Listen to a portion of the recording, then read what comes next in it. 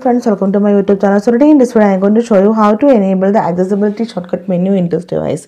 So in this device, you can see here I already enabled the accessibility shortcut menu. You can move the, this menu anywhere on the screen. So to enable this accessibility shortcut menu, go to settings, then scroll down, tap on accessibility, tap on again scroll down, tap on accessibility menu, then we need to turn on this option to enable this accessibility shortcut menu in this device. If I disable this one, now you can see that menu is disabled. So if you turn on, then you can easily enable the uh, accessibility shortcut menu in this device. So hope you guys enjoy this video. Thank you for watching. Thank you. Bye bye.